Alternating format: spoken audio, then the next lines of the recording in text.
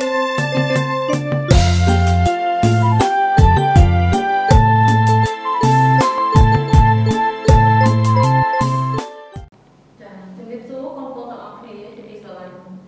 ងជួបគ្នាម្ដងទៀតហើយសម្រាប់បន្តមេរៀនថ្មីរបស់សង្គមបន្តមេរៀនរបស់យើងណាចាអញ្ចឹងបងប្អូនសុខសប្បាយទេគ្រូសង្ឃឹមថាបងប្អូនសុខសប្បាយហើយនេះគ្រូសង្ឃឹមថាបងប្អូនក៏មិនបានភ្លេចធ្វើកិច្ចការផ្ទះដែលគ្រូដើរបងប្អូនធ្វើការពីមេរៀនមុនដែរតើបងប្អូនចាំបានទេតើកិច្ចការអ្វីដែលគ្រូបានដាក់បងប្អូនធ្វើគឺលំហាត់ដែលគ្រូដាក់នៅក្នុងវេយ្យាករណ៍ពាក្យពាក្យសំ បែបទីបែបទី1ចាអញ្ចឹងអឺនេះគ្រូសង្ឃឹមថាកូនកូននឹងផ្ញើមកឲ្យគ្រូក្រុមរកគ្រប់គ្រប់គ្នាចានេះគ្រូនឹងកែតម្រូវឲ្យកូនកូនហើយផ្ញើលទ្ធផលទៅកូនកូនវិញជាបន្ថែមចាអញ្ចឹងយើងចូលដល់អឺ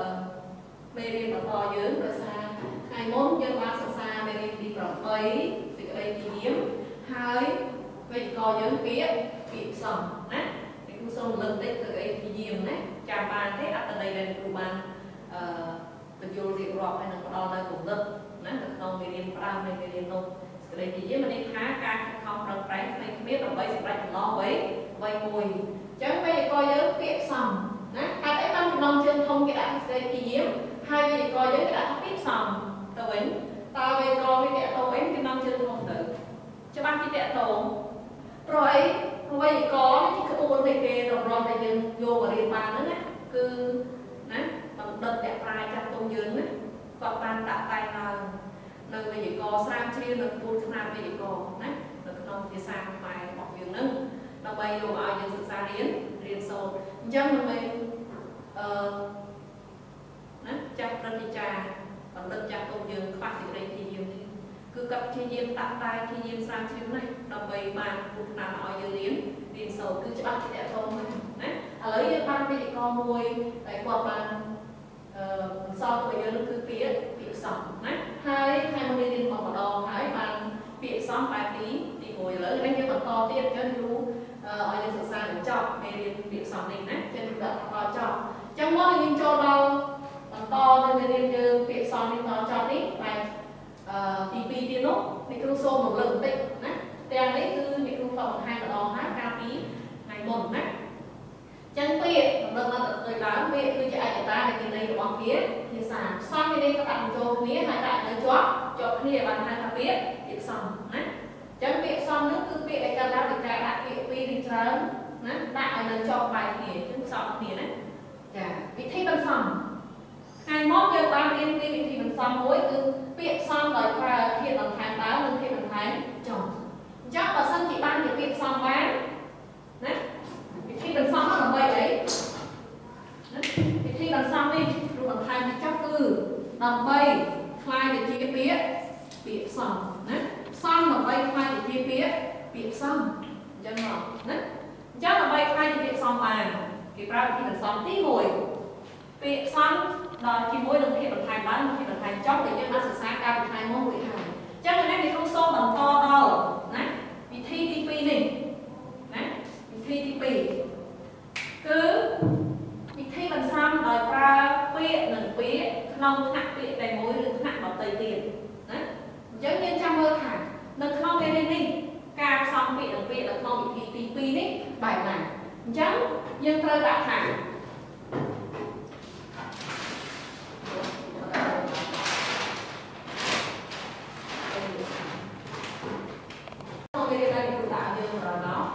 យើងចូលដល់វិធីទី2ណា ពេលដែលកូនកាត់ចូលសភៅគឺកូនកាត់ចូលបន្តពីលេខ2នេះលេខ1នេះកន្លែងកន្លែងនេះគឺរំលឹកទេអញ្ចឹងឯងបងយើងកាត់បន្តខាងណាណា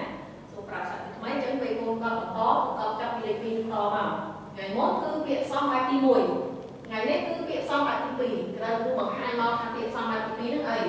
គឺផ្សំពាក្យនិងពាក្យក្នុងថ្នាក់ពាក្យទី1និងថ្នាក់ពាក្យដទៃអញ្ចឹងយើងចាំមើលពាក្យផ្សំបែបទី2នេះគឺជាពាក្យដែលបានមក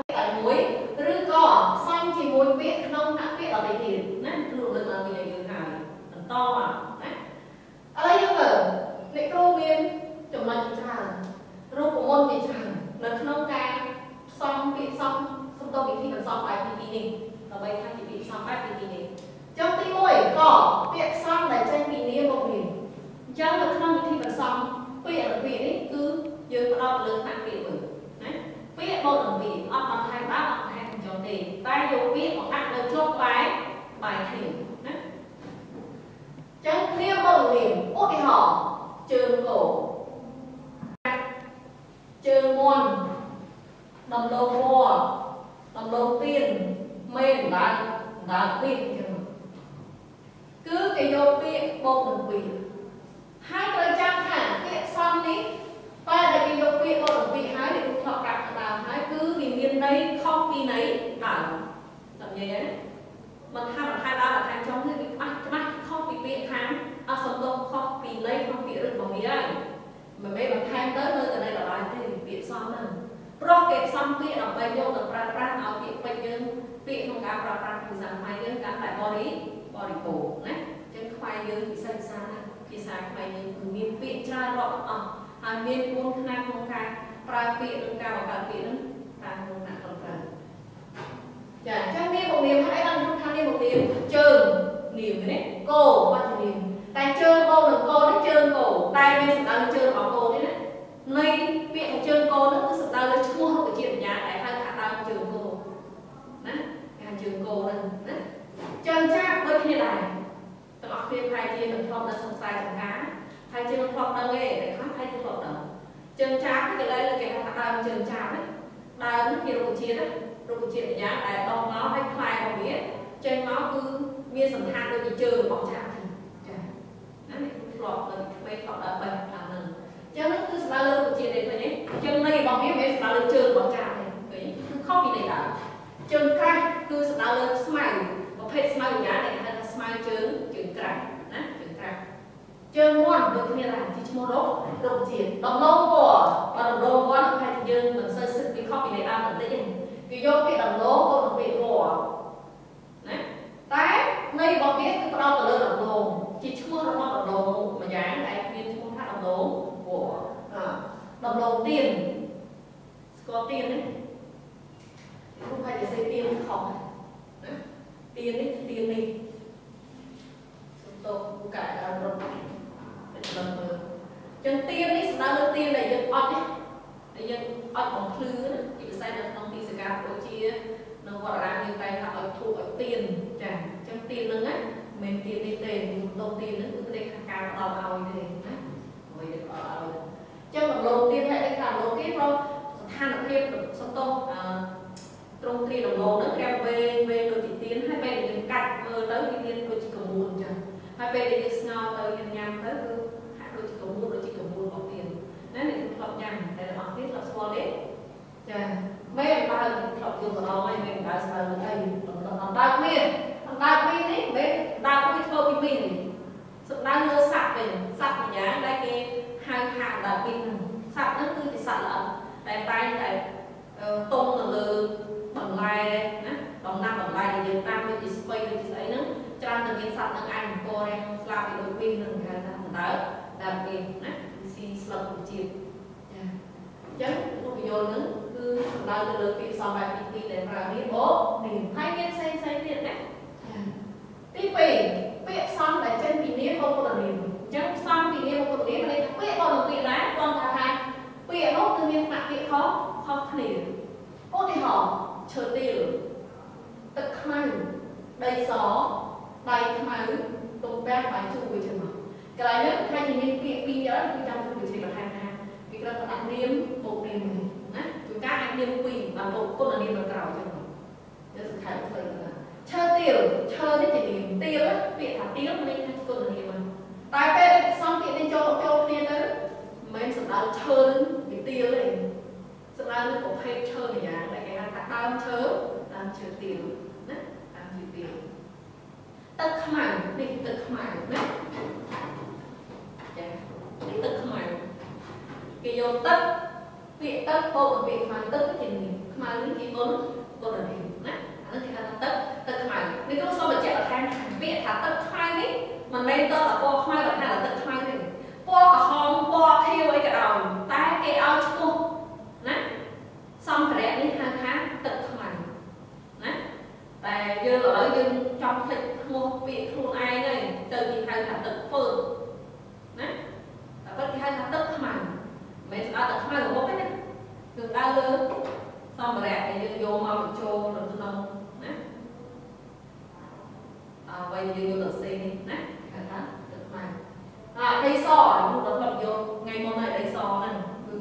គេផ្សំដីអូនពាក្យសហ្នឹងដើរលើសម្ភារៈមានដូចជាណាទឹកខ្មៅនេះទេណាលើក្តារពីនៃសដៃខ្មៅយើងឥឡូវច្រើនតែប្រើត្រឡប់ពីយើងប្រើត្រឡប់អ្នកខ្លះហៅខ្មៅដៃតែបើយើងប្រើ ខ្មៅដៃហ្នឹងគឺខុសខុសក្អូនពេញកយើងតិចព្រោះថាខ្មែរយើងគឺគុណនាមនៅខាងក្រៅនេះនាមមួយបានគុណនាមពាក្យមួយគឺមានទៅនឹងមុនគុណនាមនៅក្រៅអញ្ចឹងបើយើងប្រើដៃខ្មៅគឺត្រូវគោលលេខកតែពេលយើងប្រើខ្មៅដៃអញ្ចឹងខ្មៅទៅមុខគុណនាមក្រៅអញ្ចឹងវាហាក់ដូចជាត្រឡប់ហើយអាខ្មៅដៃនេះបើតាមគោលគុណភាសាអង់គ្លេសมันគេច្រើនប្រើអញ្ចឹង រកភាសាអង់គ្លេសដូចខ្មែរយើងត្រង់ថាគុណនាមនៅមុខនេះណាអញ្ចឹងយើងគួរប្រើដៃខ្មៅគឺខ្មៅដៃយើងនិយាយខ្មៅដៃលើអសេនោះតែយើងប្រើទៅធ្លាប់អត់ដូចដូចគ្នាយើងសូមបញ្ជាក់ទំពាំងបាយជូរគឺមកពីទំពាំង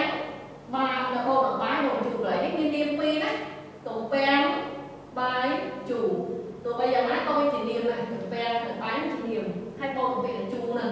ជូរជាគុណនាមរសជាតិជូរចប់ឯង ប្រៃហ្នឹងគឺគុណនាមហើយអញ្ចឹង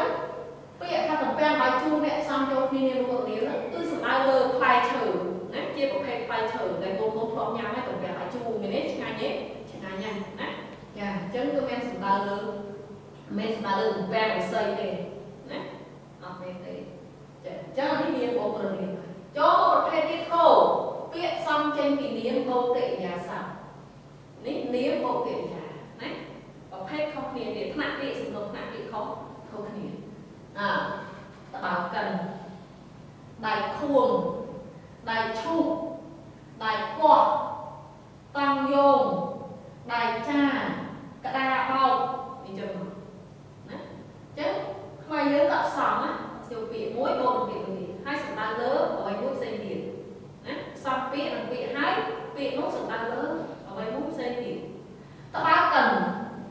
ក៏ស្គាល់តបោណាតបោបានមានច្រើនប្រភេទតែក៏ដាក់ពាក្យកិនមកឲ្យលើបានសម្រាប់ទៅកិនហើយពាក្យកិនពាក្យសំណាដែលឃុំ អត់គេស្គាល់ហើយពេលយើងប្រើដៃខ្មៅហ្នឹងគឺយើងយកសម្ភារៈយ៉ាងដែលយើងឃុំឲ្យវាស្រួយហ្នឹងដើម្បីឲ្យយើងចង់ស្រួយហ្នឹងគឺដែរដៃឃុំអាដែលឈូកពីដើមចាស់ចាស់ក៏តែយកទៅឈូកឈើឈូកអីថាដែរដែលឈូកណាណាដែលគោះយកទៅរបស់គោះតែកំយោងអត់គេស្គាល់កំយោងទេអាកំយោងដូចយើងនិយាយថារអញ្ចឹងណាតែវាមានកង់សម្រាប់យោងណាហៅកំយោង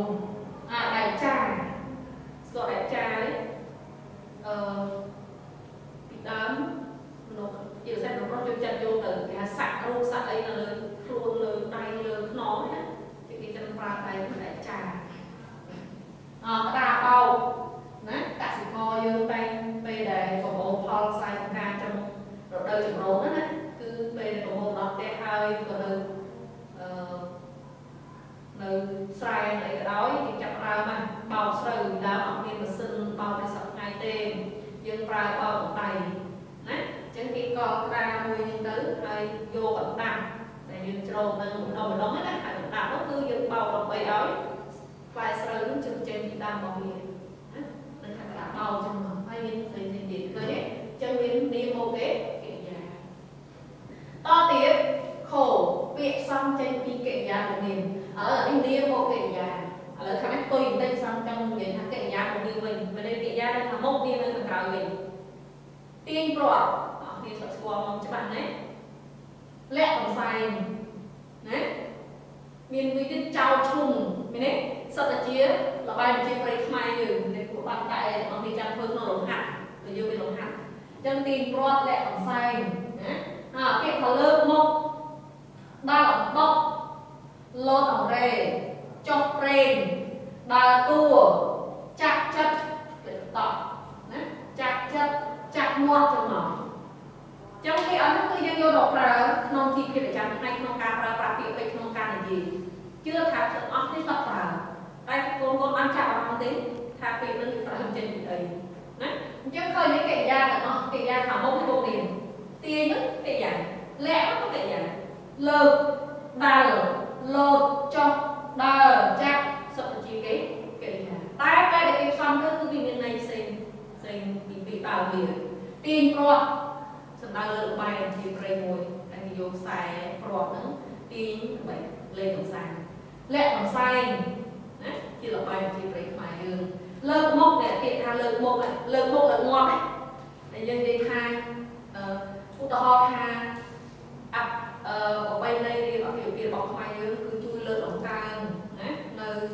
អឺទំនៀមទម្លាប់ប្របីនៃខ្មែរយើងទៅលើស្ត្រីណាគឺលើកមុខលើកមាត់ស្អាស្ត្រីលើកមុខអីគឺលើកកិត្តិយសណាសម្រាប់លើកកិត្តិយសមិនមែនសម្ដៅទៅលើការលើកមុខរបស់យើងឡើងលើទេណាអឺដល់អំបុកពាក្យដល់អីនេះជាពាក្យសាប់ឯណាតែមិនមែនទៅដល់យកដៃទៅដល់ទៅក្តារបដាល់ទេតែស្គាល់មកឯណាចាអញ្ចឹងគឺផ្ដៅសម្ដៅលើការយកអំបុកទៅបុកនៅក្នុងត្បាល់នេះគេហៅដាល់អំបុកគេហៅអំបុកគេហៅដាល់អំអំបុកណាស្ដៅលើអញ្ចឹងលោតអង្រែសម្ដៅលើរបាំងណារបាំងលោតអង្រែរបស់យើង ចុកប្រេង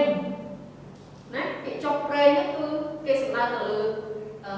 ដំគេថាដំរីណាតែលើដល់ដំរីចុកប្រេងហ្នឹងដំរីចុកប្រេងគឺដំរីដែលវាពេញរូបពេញរាងមានកម្លាំងខ្លាំងខ្លាណាចាបើនិយាយចំទៅគឺសំដៅលើកម្លាំងអំណាចរបស់សត្វដំរីនៅពេលដែលវាពេញវ័យគេហៅចុកចុកប្រេងណាដំរីចុកប្រេងអញ្ចឹងដើរតួ ណាដើរតួយើងគេថាពេលគេថតភាពយន្តណាណាគេឲ្យតួឯកក៏តួតួដែលដើរនៅក្នុងសាច់រឿងនោះគឺដើរតួដើរតួនោះគឺសំសំដែងណាគឺឃើញពាក្យដើរតួនោះមិនមែនមានន័យថាដើរជាតួអីមួយដើរជាជាជួជាអីអត់ទេគឺសំដែងថាដើរតួ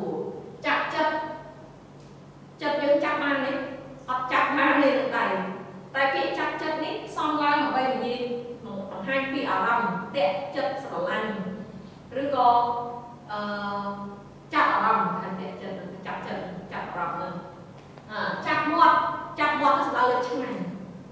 អ្វីដែលយើងឆ្ងាញ់ភាសាខាងចាប់មាត់ញ៉ាំចាប់មាត់ណាចាអញ្ចឹងគឺជាពាក្យដែលយើងសំដើម្បីប្រើប្រាស់ចាំថ្ងៃនេះណាតោះឥឡូវមកគ្រូបង្ហាញទៀតពាក្យសំចេញពីគុណនាមមកនាមមិនយើងនៅលើយើងមាននាមមកគុណនាមឥឡូវយើងមានគុណនាមមកមកនាមវិញម្ដងអាក្អៅចិត្តឈួតចិត្តសបាយចិត្តឈួតជ្រុកធន់ត្រជាអំចិត្តណែចឹងពាក្យខាងដើមសក្គុណនាមឥឡូវក្តៅចិត្តពាក្យក្តៅចិត្តមិនគេ យកភ្លើងទៅដុតក្នុងចិត្តយើងទេគឺសំដៅលើការខឹងណាសេចក្តីខឹងក្រោបផ្សេងផ្សេងនៅក្នុងរឿងមួយមួយគឺក្តៅចិត្តណាអញ្ចឹងឈួតចិត្តឈួតនេះក៏នាមដល់ពេលឈួតចិត្តហ្នឹងនៅអីសម្រាប់លើឆ្លក់មកវិញការឆ្លក់មកវិញទៅលើអ្វីមួយការឈួតឈួតចិត្តអសប្បាយចិត្តឃើញពីមានពាក្យសប្បាយចិត្តទៅយកចាប់អរដល់ឯងហើយខ្ញុំសប្បាយចិត្តណាអញ្ចឹងពាក្យសប្បាយចិត្តយើងពុកនិយាយហ្នឹងគឺជាពាក្យសំយកសប្បាយពីពុកណាសប្បាយចិត្តហ្នឹងមកពីចិត្តយើងសប្បាយថាសប្បាយសប្បាយចិត្តអត់ឈួតជ្រុំសម្រាប់លើជំងឺណាមិនជ្រុំដូចឈួតទេជំងឺយ៉ាងអីហៅជំងឺឈួតធនជាតិធនជាតិនោះមិនមែនជាតិរបស់យើងវាធនយកមិនរួចទេណាសំដៅលើមនុស្សដែលហើយស្ដាប់មិនសូវទេគេនិយាយ4 5ដាប់ហ្នឹងគឺស្ដាប់អត់បានណាថាធនធនជាតិណាអអន់ចិត្តមិនចិត្តនឹងអសំចាក់ចិត្តនឹងកំសាកទេពាក្យថាអន់ចិត្តនោះសំដៅលើតូចចិត្តមិនសប្បាយចិត្តទៅលើអ្វីមួយណាមិនមែនចិត្តហ្នឹងវាកំសាកអន់វាមិនខ្លាំងមិនមែនទេណាចាអញ្ចឹងនឹងហើយដែលគេហៅថាពាក្យសំបែបទី2តែកើតឡើងពីការផ្សំពាក្យនិងពាក្យណាគឺផ្សំពាក្យនិងពាក្យដាក់ពាក្យឲ្យនៅជាប់ក្បែរបែរគ្នាខុសពីពាក្យផ្សំបែបទី1ដែលគេប្រើការបន្ថែមដើមនិងការបន្ថែមចុងណាពាក្យបន្ថែមដើមបន្ថែមចុងចាអញ្ចឹងនេះគឺជាពាក្យផ្សំបែបទីទី2ណាគ្រូឲ្យយើងសម្គាល់បន្តិចកំណើតពាក្យមានលក្ខណៈខុសៗគ្នាគ្រូចង់ឲ្យយើងដឹងថាកំណើតនៃពាក្យណាគឺមានលក្ខណៈខុសគ្នាដូចនេះគ្រូនិយាយខាងដើមចឹងខ្មែរយើងគឺប្រើវិធីបង្កើតពាក្យច្រើនណាមានវិធីបន្សំណា គឺនេះហើយវិធីបន្សំនេះវិធីបន្សំគឺផ្សំហើយផ្សំបែបទី1បែបទី2វិធីកម្លាយដែលយើងកម្លាយតាមផ្នត់ដើមនិងតាមផ្នត់ផ្នត់ជើងនិងវិធីកម្ចីណាខ្ចីពីបល័យសម្រាប់និងខ្ចីពីបរទេសមានដូចជាខ្ចីពីចិនខ្ចីពីបារាំងខ្ចីពីវៀតណាមខ្ចីពីអង់គ្លេសទៅមកណាថានៅឯបាននិយាយថាកំណើតពាក្យមានលក្ខណៈខុសខុសខុសខុសគ្នាចាអញ្ចឹងដោយសារចូលតាក់ទងទៅនឹងពាក្យផ្សំបែបទី2នេះអ្នកគ្រូសូមរំលឹកបន្តិចជ្រាបថែមបន្តិច អឺនៅក្នុងថ្នាក់ទី8កូនកូនធ្លាប់បានរៀនពាក្យផ្សំបែបខ្មែរនិងពាក្យសមាសបាលីសំស្ក្រឹតណាចាំបាននៅថ្នាក់ទី8កូនបានរៀនហ្នឹងណារៀនពេលរៀននោះអញ្ចឹងនៅក្នុងពាក្យផ្សំបែបទី2ទី1នេះគឺគេហៅថាពាក្យផ្សំបែបខ្មែរណាបើសិនតែអូនធៀបណាកូនកូនធៀបមេរៀននេះទៅមេរៀនថ្នាក់ទី8គឺយើងបានរៀនពាក្យផ្សំបែបខ្មែរដូចរួចហើយណា ហើយនៅក្នុងមេរៀននោះយើងបានរៀនជាប់នេះថាពាក្យពាក្យសមាសបាលីសំស្ក្រឹតចឹងគ្រូសូមរំលឹកបញ្ជាក់បន្ថែមបន្តិចណានេះគឺបន្ថែមទេកុំឲ្យយើងភ្លេចគេហៅថាពាក្យសមាសបាលីសំស្ក្រឹតអ្វីទៅហៅថាពាក្យសមាសបាលីសំស្ក្រឹតពាក្យសមាសគឺពាក្យផ្សំនឹងឯងប៉ុន្តែជាភាសាបាលីសមាសគឺផ្សំនឹងច្រើនពាក្យពាក្យថាសមាសគឺច្រើនណាចំនួនសមាសគឺចំនួនចំនួនច្រើនដោយពាក្យថាពេហុពេហុវចនៈមានចំនួនច្រើនអញ្ចឹងពាក្យសមាសគឺពាក្យដែលផ្សំគ្នាច្រើនណាអញ្ចឹងអឺវាតេតិនគ្នាទេពាក្យផ្សំមានមានពីរបែបតែខ្ញុំចង់ជម្រាបថាដោយសារកំណត់ពាក្យមានលក្ខណៈខុសៗ គ្នាអញ្ចឹងខ្ញុំនឹងឃើញថាយើងធ្លាប់រៀនពាក្យផ្សំបែបខ្មែរឥឡូវនឹងពាក្យសមាសឥឡូវសម្រាប់សូមរំលឹកបន្តិចឥឡូវខ្ញុំពីគ្រូលើកពាក្យមួយចំនួនដែលយើងមើលណាពាក្យថាអមាតុភូមិណាឃើញទេនឹងគឺពាក្យសម្បត្តិនៃសន្តិរអខៃមរៈបតណាអពិភពលោកនេះនេះ នេះនេះទៀតទៅអរដ្ឋជាតិក៏ជាពាក្យសម្បត្តិនៃសន្តិរដែរនឹងគឺចង់បញ្ជាបងប្អូនឲ្យនឹកឃើញឡើងវិញថាតើពាក្យសម្បត្តិបល័យសង្ក្រឹតយ៉ាងម៉េចហេតុអីបានយើងនិយាយថាពាក្យសម្បត្តិបល័យសង្ក្រឹតដោយសារពាក្យបល័យសង្ក្រឹតដាក់ពីបដាក់ពាក្យបល័យសង្ក្រឹតពីរឬច្រើនទៅចូលគ្នាដែរឃើញទេដាក់ពាក្យបល័យសង្ក្រឹតពីរឬច្រើនទៅចុះបែកគ្នាដែរឥឡូវឧទាហរណ៍ពាក្យមានភូមិមកពីពាក្យមានតោបងពាក្យភូមិរៀបមករៀបឃើញទេអខេមរៈបងមកពីខេមរៈបងបត់បើមានមកមករៀបដែរណាអពិភពលោកមកពីពិភពលោកនឹងលោករុក្ខជាតិមកពីរុក្ខរុក្ខៈលោកនឹងជាតិគឺ ពាក្យបាលីសង្ក្រឹតទាំងពីរដាក់នៅបែបពីក៏ខ្លះជាពាក្យសមាសបាលីសង្ក្រឹតដែរអញ្ចឹងអានេះគឺពីតកតងនឹងមេរៀនរបស់យើងបាទជាគ្រូបញ្ជាបន្ថែមកុំឲ្យយើងភ្លេចណាពាក្យផ្សំបើសិនតែអូនចាំពាក្យផ្សំទៅចាំខ្សែនេះអញ្ចឹងមកអញ្ចឹងអត់ចេះភ្លេចទេណាចាអញ្ចឹងឆ្លើយតបទៅនឹងអឺចំណុចទី2នៃពាក្យសំបែបទី2គ្រូក៏មានលំហាត់មួយឲ្យកូនកូនធ្វើដែរណាចាអញ្ចឹងកូនកូនយក សិភៅមកអត់លំហាត់នេះទាំងអស់គ្នាណាលំហាត់នេះគឺលំហាត់សម្រាប់បែបសំបែបទី2អញ្ចឹងគ្រូដាក់ថាលំហាត់ដាក់លំហាត់ទី2ចុះមុនគឺដាក់លំហាត់ទី1ឥឡូវនេះលំហាត់ទី2មួយចូលរកពាក្យសំ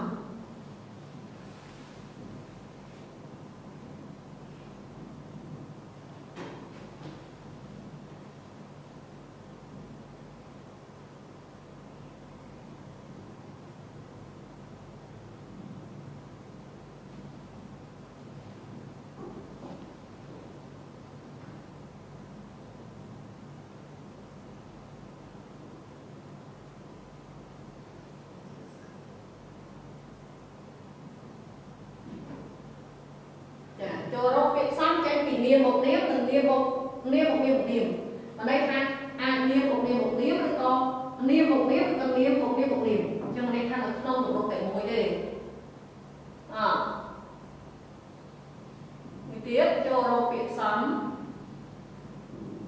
ចេញពីនាមមកកិរិយាចាឲ្យបានតាមពាក្យគ្នាណា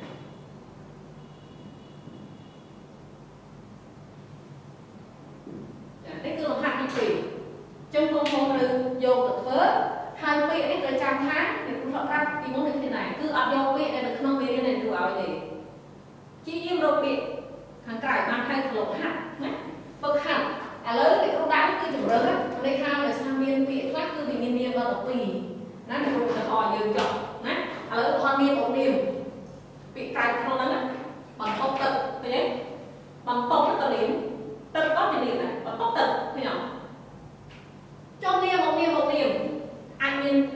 ទៅ3ជាប់គ្នាឧទាហរណ៍ តុងអឺសុំទៅអឺដំណងឈាមមាន់មើលមើលបងប្អូនគ្នាស្បរៀនទី1គឺដឹងច្បាស់ពីលើកដំណងឈាមឈាមមាន់ណាត្រីកូរ៉ាំងឃើញទេក៏មានដែរអញ្ចឹងក្នុងពីកម្រងនេះខ្ញុំឲ្យយកទៅប្រាំហើយអញ្ចឹងគឺរកបានបើថារក3 20រក2មកបានប្រាំហើយអើមហាទី2រកពាក្យសំចេញពីនាមមកកិរិយាឲ្យទៅនាមមកកិរិយាមក នៃគ្រូឧទាហរណ៍ពាក្យក្រៅពីមេរៀនយើងបាយឆាឃើញទេបាយឆាក៏ត្រូវដែរមីឆាក៏ត្រូវដែរសតតែជាពាក្យនាមមកកិរិយាដែលសំដៅទៅលើមុខហូបចឹងមកណាអញ្ចឹងរកឲ្យបានក្រៅផ្សេងទៀត5ឲ្យគ្រូចាអញ្ចឹងមេរៀនពាក្យសំរបស់យើងសូមមកហាត់ចប់ប៉ុណ្ណេះហើយអឺលោកហាត់យើងទាំងពីរនេះទាំងលំហាត់ទី1ទី2ក្នុងពាក្យសំបែបទី1និងបែបទី2នេះ សង្ឃឹមថាកូនកូនយកទៅវឹកហាត់ណាបន្ថែមហើយបើសិនជាឆ្ងល់កូនកូនត្រូវតែ comment សួរលោកគ្រូនោះក៏បានស្រួលឬក៏អាចឆាតមករកលោកគ្រូឬក៏ខលទូរស័ព្ទមកក៏បានដែរតែទៅលើជំរិតរបស់កូនកូនណាចាដើម្បីជាជំនួយបានទាន់ពេលដល់កូនកូនផងដែរចាចឹងអរគុណច្រើនជួបគ្នានៅពេលរៀនថ្មីបន្តនៅថ្ងៃក្រោយទៀតចា